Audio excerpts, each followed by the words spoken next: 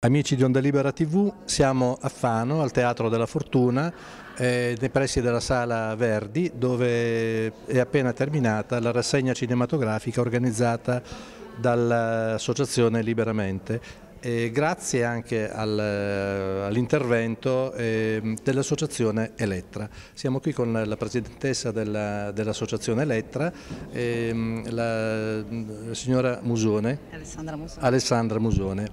Allora, eh, ci spieghi un po' intanto l'attività del, dell'associazione Elettra e, e poi come è andata questa eh, questa iniziativa mi sembra molto bene, tra l'altro dal, sì, dal punto sì. di vista del pubblico, molto, sì, buona eh, i numeri sono buoni, sono per, buoni sono per, la città, numeri, per la nostra città direi, direi buonissimi. Sì, sì, Fano ha risposto molto bene, quindi si è forse probabilmente sentito questo bisogno anche di confrontarsi su questa tematica che non è nuova, però se ne, inizia, se ne, parla molto poco. Noi ecco, attraverso l'Associazione Culturale Elettra, che si occupa proprio di promozione della salute mentale di genere, cerchiamo, proviamo a fare questo primo tentativo di divulgazione della, della disciplina, della materia e anche se il focus del, dell'associazione, in realtà il cuore dell'associazione Elettra è il mm, progetto, noi, un progetto che noi abbiamo attivato con l'assessorato alle pari opportunità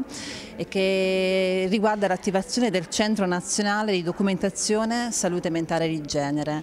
E abbiamo uno sportello quindi attivo ogni mercoledì mattina dalle ore 9 alle ore 13 in collaborazione con il Centro Documentazione delle Donne in via Vitruvio a Fano, tra l'altro proprio lunedì durante la presentazione l'assessore Maria Antonia Cucuzza ci ha anche proposto cioè, la, la nuova sede che da gennaio sarà attiva, quindi poi cambieremo le coordinate gli indirizzi e poi vi faremo sapere, vi aggiorneremo. Ecco, il centro in realtà ha due tagli, uno prettamente scientifico, noi ci occupiamo di ricerca e documentazione, quindi cerchiamo di raggruppare tutta, raccogliere tutta l'informazione che riguarda la salute mentale di genere e cerchiamo poi di eh, inserire i dati online attraverso una banca dati e poi attraverso, le, e qui ritorna la connotazione dell'associazione culturale, creiamo eventi come appunto questa rassegna cinematografica per poter creare un parterre dove confrontarsi con persone esperte. In quale ambito territoriale svolgete la vostra attività? Qui a Fano, però nel, fondamentalmente qui a Fano. La prima attività l'abbiamo fatta qui, però nulla ci vieta di cercheremo adesso anche di, speriamo di allargarci anche con il contributo di... Certo. Poi visto anche il successo dell'iniziativa. È andata molto bene, tra l'altro questa rassegna, noi ringraziamo liberamente, mh, mm, liberamente da 5, eh, questa è la quinta edizione della rassegna cinematografica e tratta quindi sempre come tema fondamentale appunto la salute mentale. Quest'anno ha, ha, donato a noi, cioè, più che donato ci ha dato la possibilità ecco, di, di, organizzare questa prima rassegna tutta femminile e abbiamo trattato diversi temi, abbiamo trattato il, il tema della maternità quindi dell'attesa,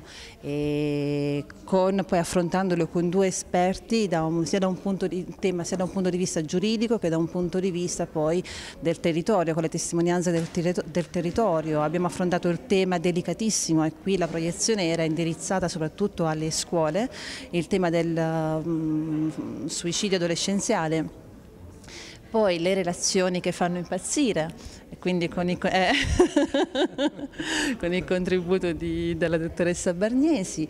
E il primo giorno invece abbiamo proprio affrontato la tematica che ha dato poi l'avvio proprio alla rassegna, la, la, follia al genere. Ci siamo soffermati proprio sul termine genere, abbiamo cercato di dare quindi una prima spiegazione, anche perché iniziamo no, a sentire questo termine dobbiamo abituarci anche noi. E infine oggi abbiamo poi concluso questo percorso attraverso l'arte, quindi delle riflessioni su, sull'arte, l'arte e la psichiatria.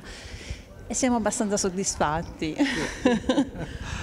Bene, ringraziamo eh, Alessandra Musone per, eh, per, questo suo contributo e, complimenti per eh, l'iniziativa e in bocca al lupo per il futuro. Crepi, grazie, grazie. grazie.